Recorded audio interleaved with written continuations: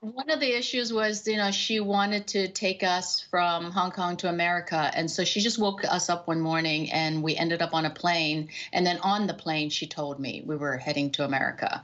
And I started crying. I just remember being seven, thinking that I was going to uh, be living in the desert with camels. And, and because I only associated something foreign with like the three wise men and, uh, and stories about Jesus Christ. So a little, a little warped. But I'm, Did you I'm ever trying to find the think, desert was and there camels?